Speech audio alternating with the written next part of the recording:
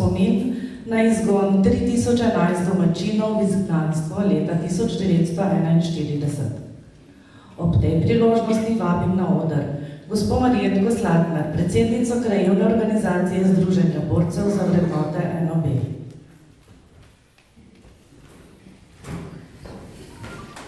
Spoštovane krajanke, krajani, spoštovani gostje, podžupan Aleksandr Gajski, predsednica krajevne skupnosti Mateja Kmetič, spoštovane svetnice in svetniki.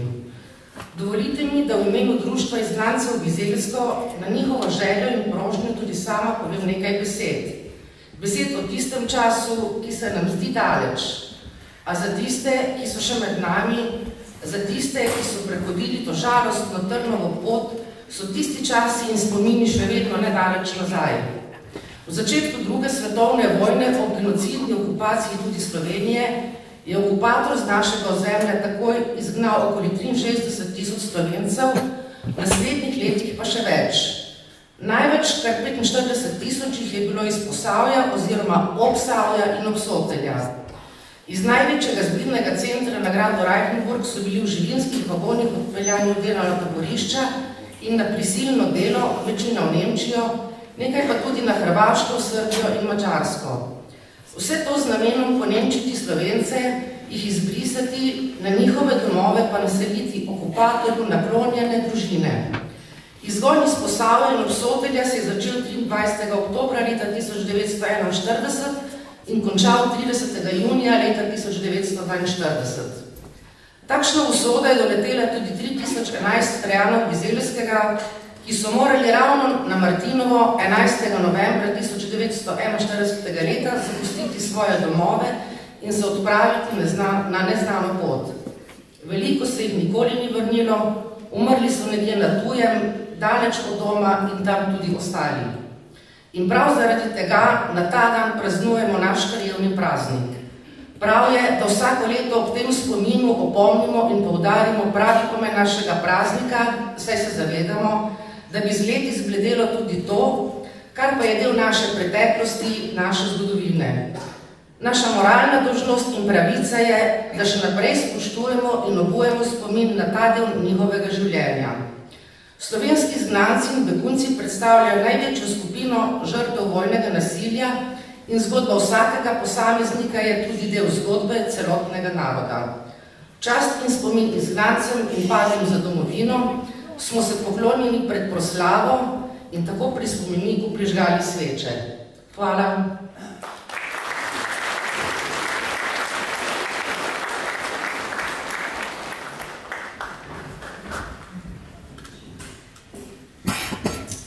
Lepo je živeti, kjer budijo te ravnice. Še lepše je tam gori, kjer bivajo čriček in vinske gorice. Na mladih svet stoji, Učenci osnovne šole Bizelsko z mentorjema Tejo Vrkovičkov in Milko Urekov. Odar je vaš.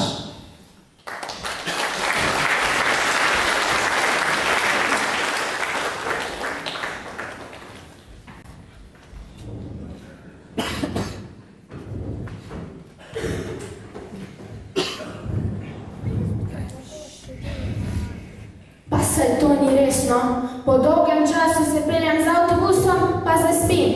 Vi bi me pa tudi lahko zbudili pred toplicami, kamor sem bila namenjena, ne? Mislim, sem bil avtobus skoraj prazen in kje sploh sem zdaj? Eh, še to. A ja, poglejmo, kaj pravi moj telefon.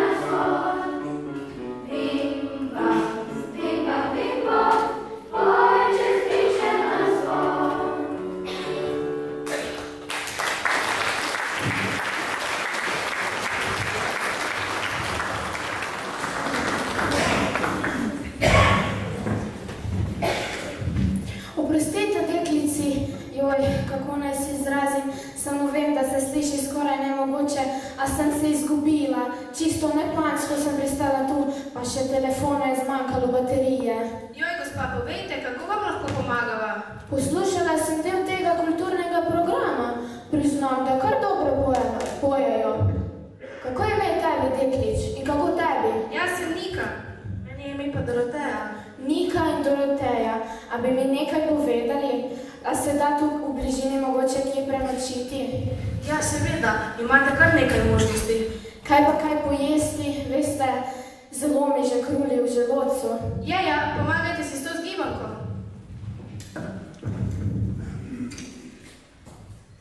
Kaj pa, no, Bizelsko je pa je vinorodni kraj, to sem slišala, a bi bilo mogoče... Mislite, če je mogoče kje spiti dober kozarček vina, mogoče penine? Ja, to ja. Ja, pa za domov lahko kupite, pa ne pozabite še na ajdo kolač. Ja, no, saj kovček imam pa res velik, a ne? Veseli nas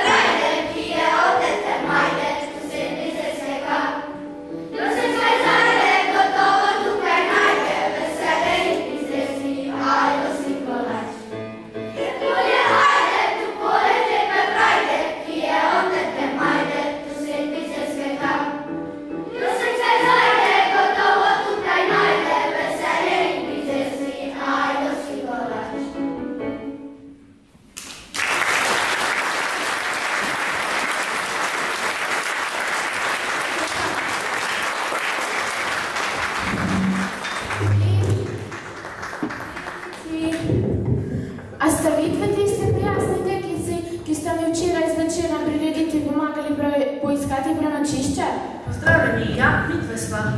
Veste, včeraj zvečer sem napolnila telefon in pred spanjem sem našla veliko zanimivosti o kraju. Z veseljem bi si kakšnega pogledala. Ja, poglejte, tukaj so najni sošolci in skupaj obiskujemo izbirni predmet turistične vzgoje. Ravno se odpravljamo na ekskurzijo po domačem kraju. Se nam pridružite? Z veseljem. Tako prijaznih ljudi, sploh pa otrok že dolgo nisem srečala.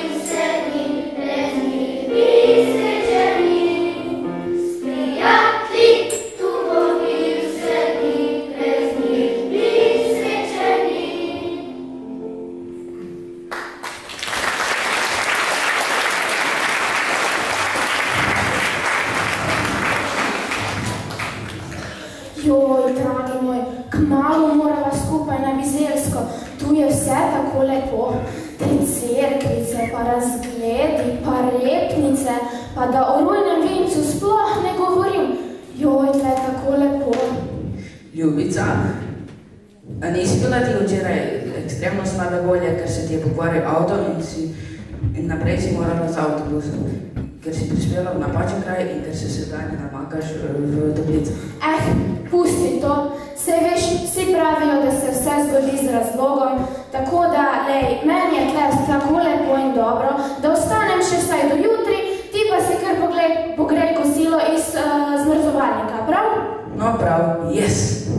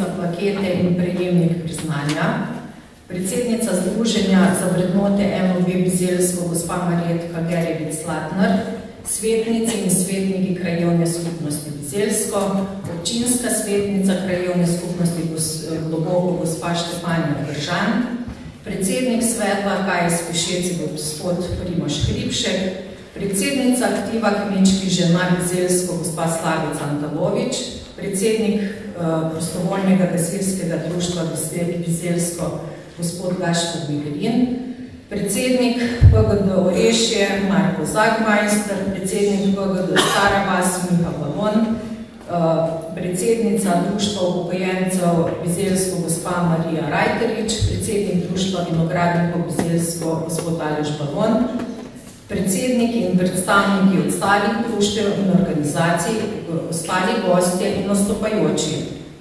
Lepo vas pozdravljam na prazniku naše krajovne skupnosti, ki ga praznujemo na Martinovo 11. novembra in sicer v spomin na izgon 3011 tukajšnjih prebivalcev, ki so morali kot prisilo zapustiti svoje domove. Želimo si, da se ta kruta usoda nikoli več ne ponovi. V letu 2024, ki se počasi izteka, nam je uspelo izvesti nekaj vzdrževalnih in investicijskih del, ki smo si zadali. Nekaj pa jih je še v izvajanju. Žal pa je tudi nekaj takih, ki v letošnjem letu ne bodo izvedena, saj vsako leto naredimo preoptimistične plane glede na razpoložljiva sredstva, ki jih prejmemo strani občine Brežice. Ker smo krajevna skupnost največ cestami v občini, je naša prioriteta modernizacija cestnih odsekov. To se ponavljam vsako leto. Še vedno imamo kar nekaj cest, ki vodijo do stanovanjskih hiš in niso asfaltirane. Konec lanskega leta je bila izvedena asfaltacija cestnega odseka na sodarski poti v znesku 53 tisoč evrov, izvajalec del Babič David. V juliju 2024 je bila izvedena modernizacija cestnega odseka v Stari vasi v dolžini cirka 290 metrov, znesku 50 tisoč evrov. Komunala Brežice kot koncesionar, ki je zadolžena za letno in zimsko vzdrževanje cest v naši krajovni skupnosti, je izvedla nekaj vzdrževalnih del, nekaj investicijskih del pa je izvedlo podjetje Davida Babič SP.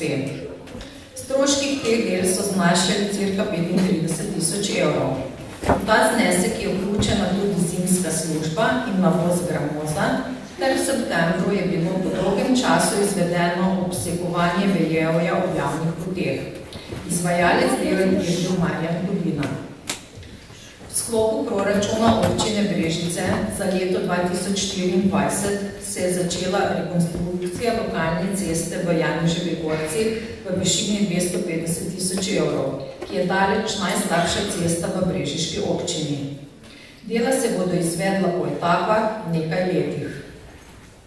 Tudi ta zadeva je za Bizelsko velikega pomena, saj se je o njej govorilo že kar nekaj let. let. Letos pa nam je uspelo to umestiti, umestiti v proračun. Proračunu občine za leto 2024 so tudi zagotovljena sredstva v višini 50 tisoč evrov za pripravo uh, dokumentacije in izgradnjo počnika v Stari vasi. Dokumentacija je v izdelavi. Vsako leto so v proračunu občine Brežice zagotovljena sredstva za obnovo in rekonstrukcijo vodovoda na Bizelskem. V letu 2024 je bilo teh sredstev 100 tisoč.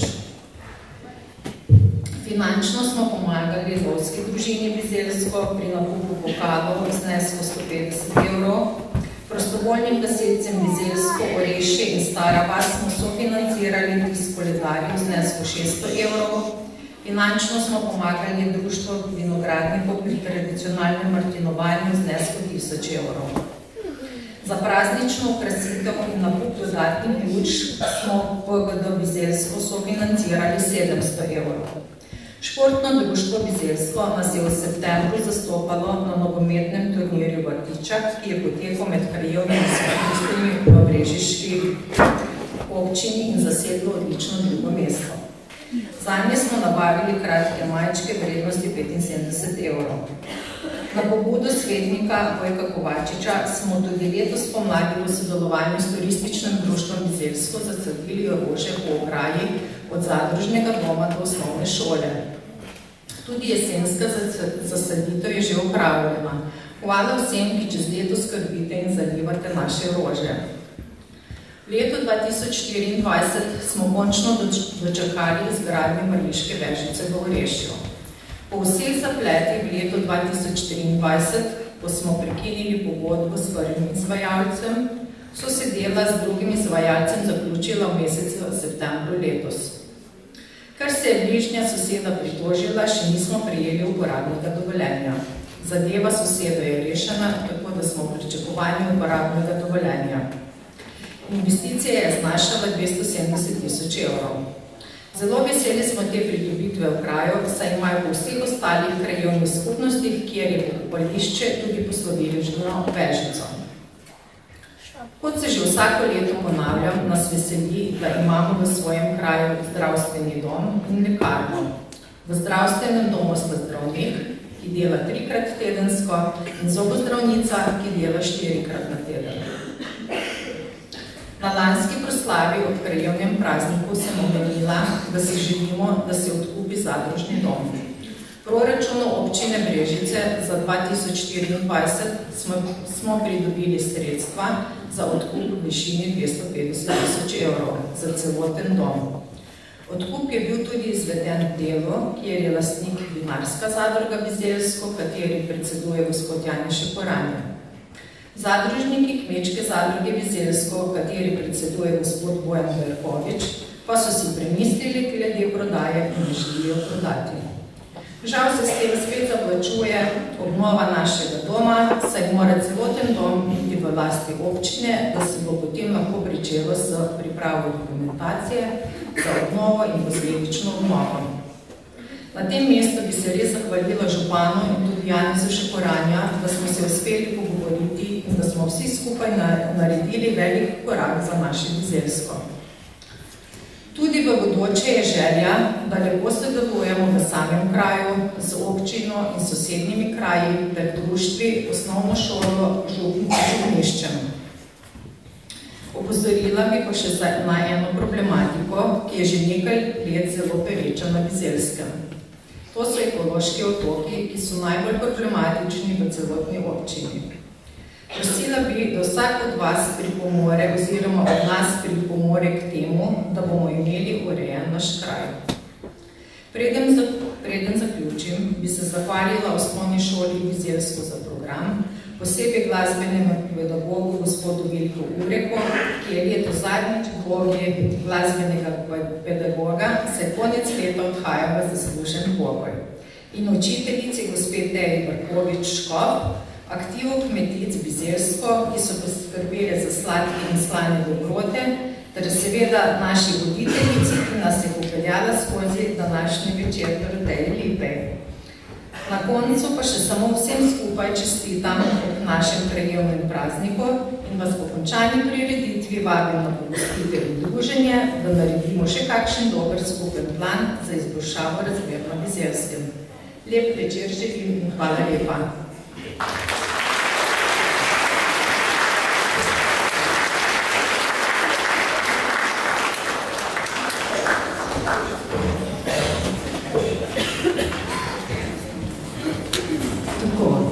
Plani in obavljena dela so poročali, poročana. Župan občine Brežice, gospod Ivan Molan, se je upravičil. V njegovem imenu je danes z nami podžupan občine Brežice, gospod Aleksandr Gajski. Prosim vas, da stopite na oder in nam namenite nekaj besed.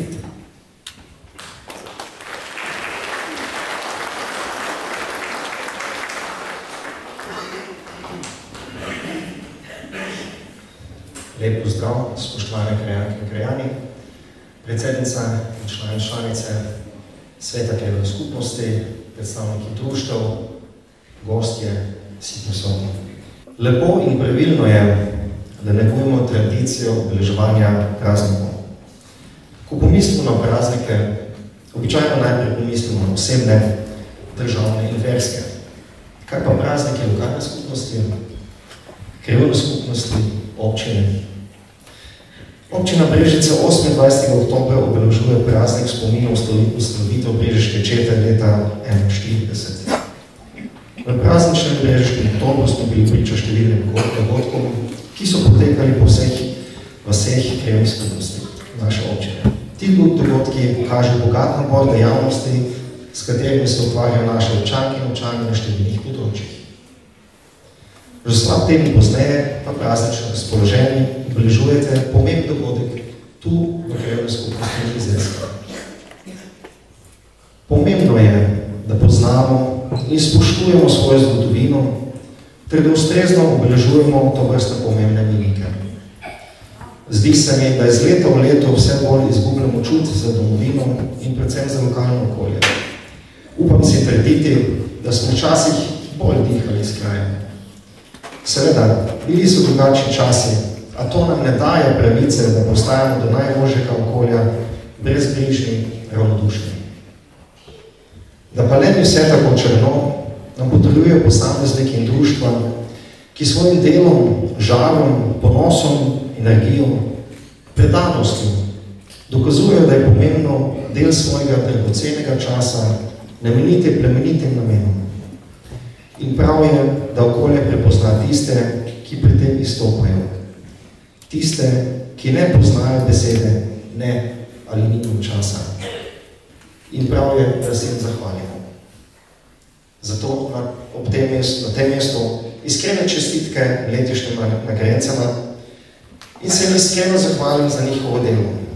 Veseli in hvaležni bomo, če boste še naprej aktivno povezovala okolje ter bila vzor ostalim krajankam in krajanom. To vrstni prazniki pa so tudi priložnost, da pregledamo doseženo, analiziramo vzroke za nerealizirane projekte in postavimo cilj za prihodnost. Na tem mestu posredujem zahvalo župana, vodstvo krajevne skupnosti za dobro in korektno sodelovanje. Župan verjame, da bo takšno tudi v prihodnje in zagotavlja, da se bodo tudi v prihodnje naše rešitve in pot za potrebe vaše krajevne skupnosti kljub nekoliko morda manj naklonjeni finančni situaciji.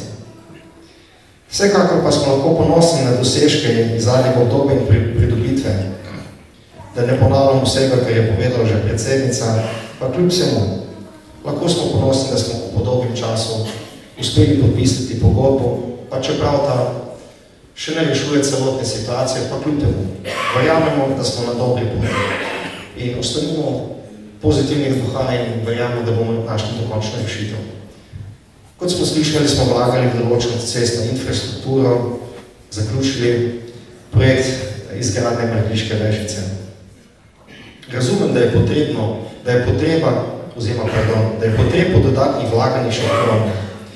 In da bi mnogo tega bilo potrebno urediti že včeraj, a so žal potrebe vedno večje od razložljivih finančne zmožnosti. K temu žal potuje tudi v zadnjem obdobju če smem tako reči, izjemno zadržana investicijska politika na državnem nivoju. Vse, kar se naše občine tiče. A ne dovolimo, da nas zajave melankolija. Nocoj je čas za praznovanje in upanje, da bo jutri bolje. Spoštovani, hvala, da ste se nocoj udeležili tega dogodka. Iskrene čestitke o vašem prazniku, obenem tudi našem prazniku.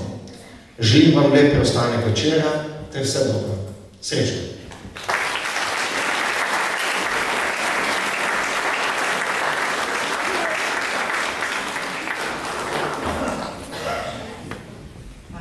Spodbudne besede. Dokler si nička nam bo pela, narava pocvetela. Pevci moškega pevskega zbora Bizelsko nam bodo zapeli Nazdravimo z Majoliko. Avtor glasbe in besedila je naš bizelanc Slavko Mihelin.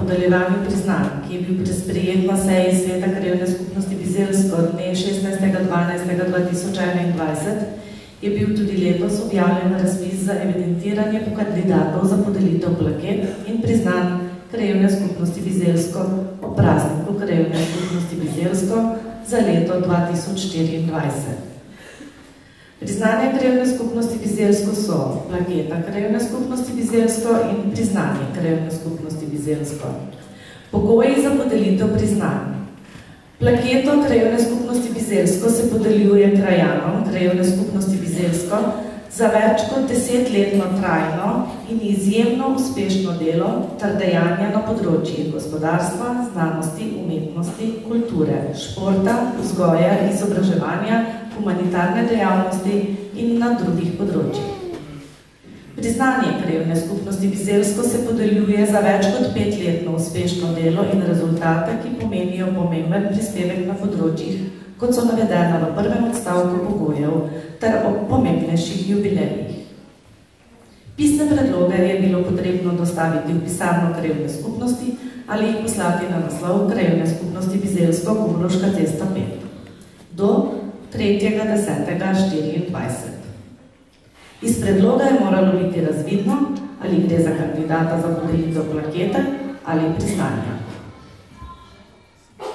Hvala beseda mala, a velika, da gore premika, ruši bregove, izida mostove, se suva nadutost, rojeva hvaležnost, klesti prevzetnost, gradi prijaznost, premalo krat izrečena, premnogokrat pozabljena, namerno zamovčana, preprosta, Velika beseda mala. Hvala. Prosim predsednico Krajevne skupnosti Bizelsko, gospod Matejo Kmetič in tajnico Krajevne skupnosti Bizelsko, gospod Majdo Jurkas, da podelita letošnje priznanje in plaketo. Prejemnika prosim, če ostanete na odru za skupno fotografijo in spregovorite nekaj besed. Najprej prejemnik priznanja.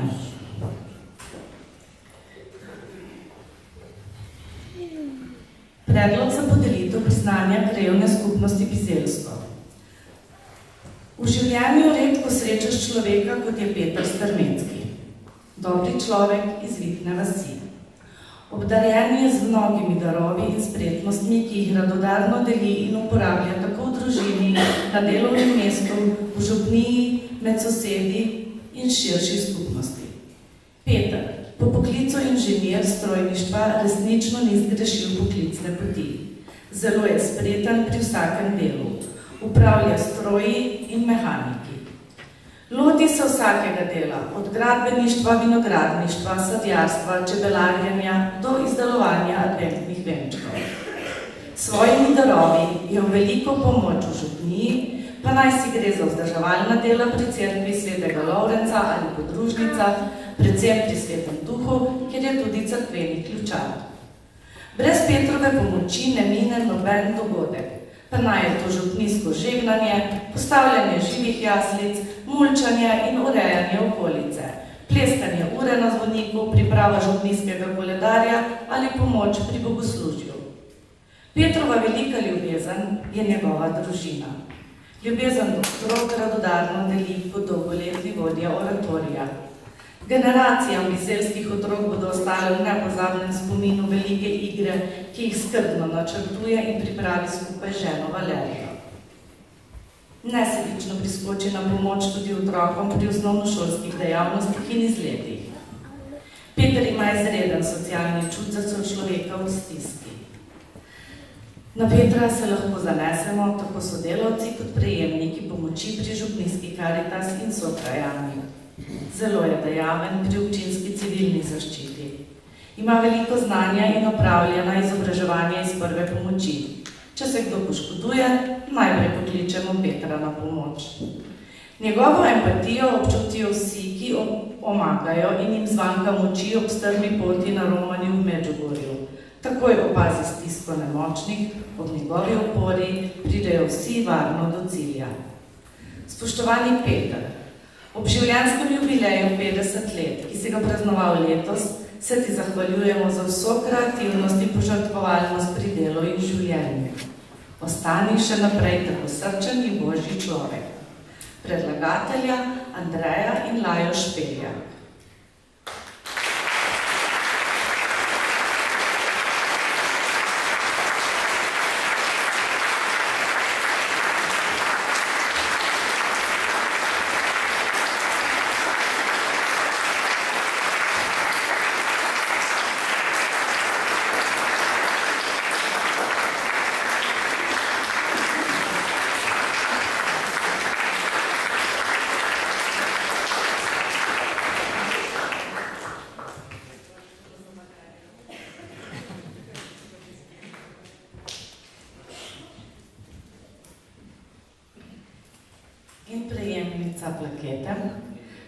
Dolgoletna ravnateljica osnovne šole, šole Biselsko se je rodila 10. januarja 1961 v Brežicah, kot sestra dvojčica. Otroška in mladostniška leta je preživljala v vasi Dramlja na Biselskem. Po uspešno zaključeni osnovni šoli leta 1976 se je upisala na pedagoško gimnazijo v Brežicah. Šolanje je nadaljevala na Pedagoški akademiji v Ljubljani, smer slovenski jezik in knjižničarstvo in 21.6.1983 uspešno diplomirala. Po diplomi se je 1.9.1984 zaposlila za eno leto v osnovni šoli Brežice, kjer je delala v delku podaljšanega bivanja. S prvim devetim 84 pa je nastopila svojem rojstnem kraju na osnovni šoli Bizelsko kot učiteljica slovenščine. Strokovni izpit iz vzgoje in izobraževanja je opravila 20.5.1987. Ob delu se je upisala na visokošolski študij na Univerzo v Mariboru na pedagoško fakulteto smer slovenski jezik s književnostjo. Študij je uspešno zaključila 27.9.2002 s strokovnim nazivom profesorica slovenščine. V tem času je poučevala slovenski jezik in vodila šolsko knjižnico. Leta 2005, 18.6. je upravila ravnateljski izpit in s 1.9.2005 začela upravljati delo ravnateljice, ker je službovala vse do svoje upokojitve 31.8.2024. V času svojega službovanja na osnovni šoli Bizelsko je izdajala šolski časopis Čriček in z učenci na tekmovanjih za Cankarjevo priznanje dosegala najvišja mesta na državni ravni. Skupaj so delovci je napisala dve knjigi in sicer 3011 jih je šlo, ki pričata o bizelancih, ki so med drugo svetovno vojno morali zapustiti svoje domove. Je tudi soavtorica več publikacij, zbornih 220 let šolstva na Bizelskem, vinogradništvo na Bizelskem nekoč in danes, 30 let glasbenih festivalov, v njej so bili zbrani vsi nastopajoči, vtisi nekaterih pevcev, krajanov, članov strokovnih komisij in drugih. Ponosna je bila na dosežke in uspehe, ki so rezultat dobrega timskega dela. Poleg poletne šole v naravi so v času njenega ravnataljevanja uvedli tudi zimsko šolo v naravi. V času ravnataljevanja je šola sodelovala na projektih državne ravni in sicer inovativna 5 nič, Evropa v šoli, Rastem s knjigo in Franceta Prešerna knjižnični žur. Priključili so se tudi slovenski mreži zdravih šol, projektu Erasmus Plus mobilnost šolskega osebja. Prijavili so se tudi na projekt CIO 2020. V okviru programa so imeli sofinancirano izgradnjo brežičnega omrežja in nakup IKT opreme.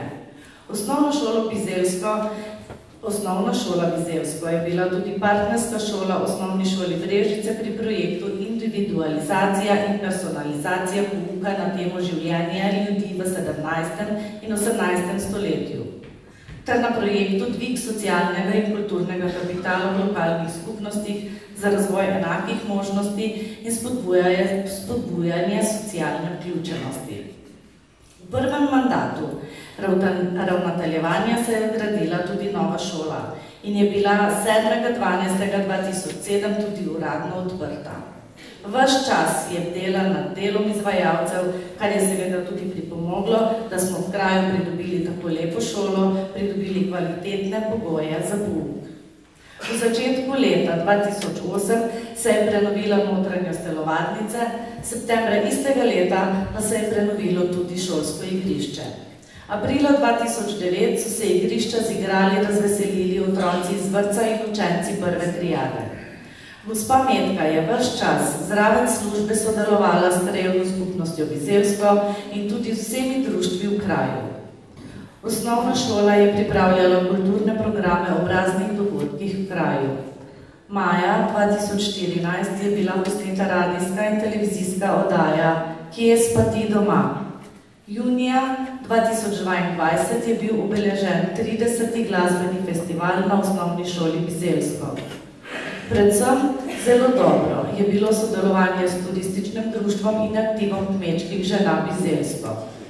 Člani podmladka turističnega društva Bizelsko so vsako leto sodelovali na tradicionalnih pohodih po bizelskih pešpoteh, pri dnevih Evropske kulturne dediščine in drugih prireditvah v kraju.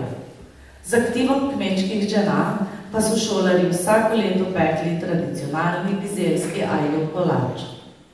Tako lahko rečemo, da je gospa Metka v vseh pogledih tvorno sodelovala pri aktivnostih našega kraja, za kar se ji iskreno zahvaljujemo. Upamo in želimo, da ostane tako aktivna še naprej. Zaradi izjemnega prispevka za naš kraj, ter v zahvalo za sodelovanje pri aktivnostih Krajevna skupnost Bizelsko predlaga, da Svet Krajevne skupnosti Bizelsko Metki Kržan podeli plaketo Krajevne skupnosti Bizelsko za leto 2024. Predsednica Sveta Krajevne skupnosti Mateja Kmetič.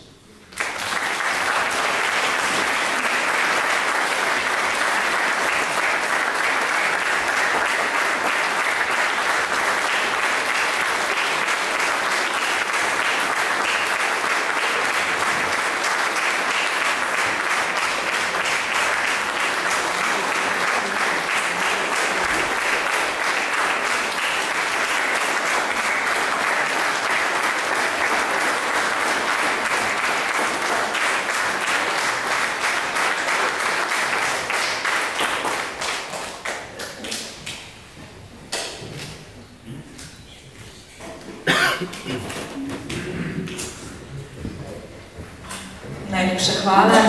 Zahvaljujem se tudi krajovni skupnosti za sodelovanje. Želim vam vse dobro, da bi uresničili čim več zapisanih ciljev za razvoj kraja in želim si, da bi omogočili mladim, da bi ostali v domačem kraju.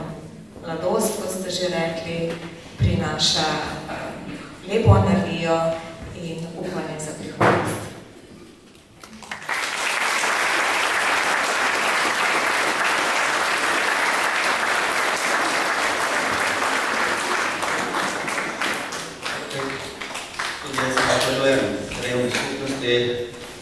vsem prisotnim, zelo sem počeščen za nagrado. Zahvaljujem se družini Špeljak za nominacijo. Zahvala tudi mojim, moji družini. Ta dolg spisek, ko ste ga prebrali, kaj vse naj bi počel, je tudi na njihovih malo ramenih, tako da nisem samo jaz. Smo videli naši mladi, naši mladi res so vzor, nekaj malega se tudi sodelujemo, malo več tudi, malo manjši, tako da res prihodnost je na mladih in res dajmo jih okolje, v katerem bojo želeli ostati in bojo srečno prebivali. Hvala.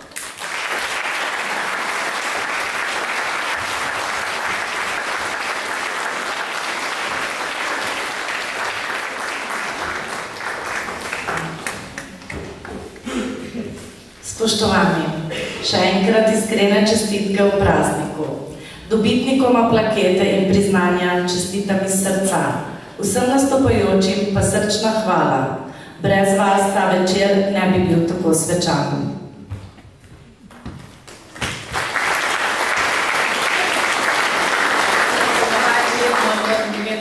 Besedo bom tudi tokrat. Uh, v bistvu zahvalila bi se nekaterim, ki nam pomagajo uh, oblikovati ta naš kraj. Najprej recimo bi kar povabila Aleksandra Gajskega, podžupana v imenu občine Brežice, se zahvaljujem za vse, kar smo dobili in kar še bomo, in da bo tega čim več, kar bomo.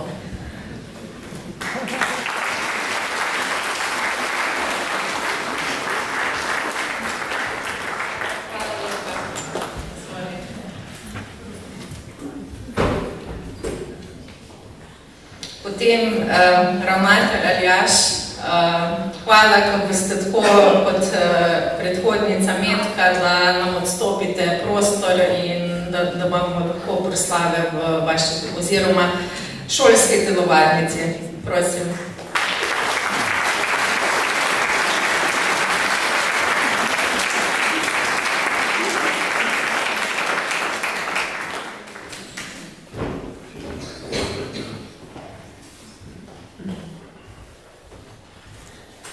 Potem bi se pa še rada posebej zahvalila gospodu Vilku Ureku, glasbenemu pedagogu, ki je dolga leta sodeloval uh, z krajevno skupnosti in ni manjkalo nobene prireditve, kjer ga ni bilo. Upam, da se nam bo še kdaj pridružil, sicer ne v vlogi mentorja šolskega, ker kot sem že povedala, konec leta odhaja zaslužen pokoj. Vilko, hvala.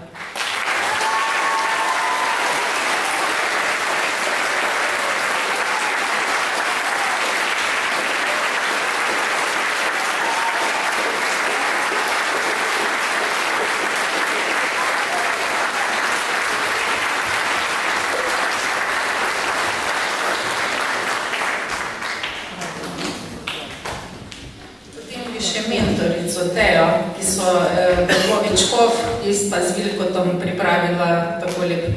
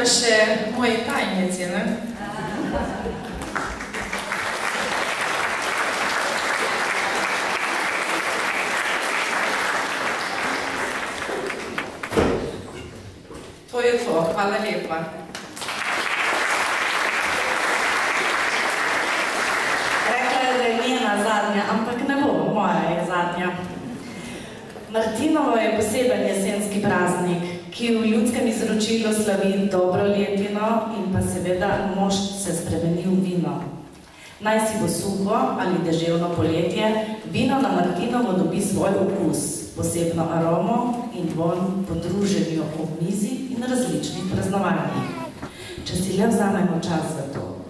Na Bizeljskem si ga vzamemo, zato vas povabim, da se skupaj podružimo v jedilnici šole.